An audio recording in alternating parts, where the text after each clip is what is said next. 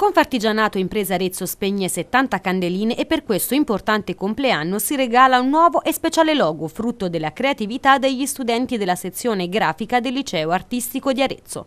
Il Liceo Artistico di fondo è un'incubatrice anche di tanti artigiani che poi nel tempo sono diventati nostri associati e sono diventati tra l'altro una realtà economica di questo territorio.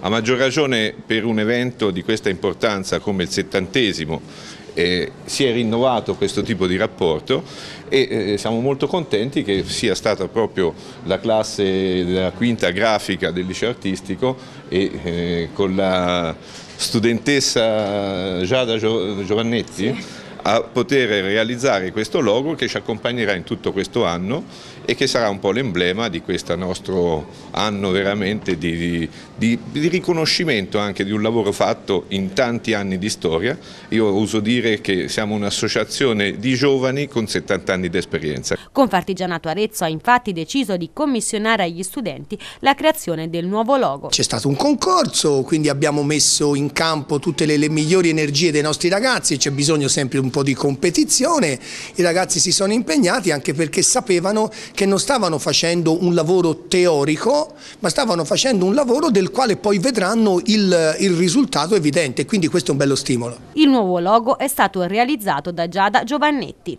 Il logo nasce innanzitutto rielaborando quello originale con eh, diciamo, l'inserimento del, del 70, nel numero 70 che eh, diciamo, riprende la linea gialla che è sotto il logo per incorniciare e metterlo in evidenza. E quindi consiste solo, principalmente nella rielaborazione quindi, ehm, per mettere in evidenza ma anche per mettere in evidenza appunto il settantesimo anniversario. Infine il preside e il segretario di Confartigianato hanno donato alla scuola alcune attrezzature informatiche e un premio speciale andato all'autrice del logo.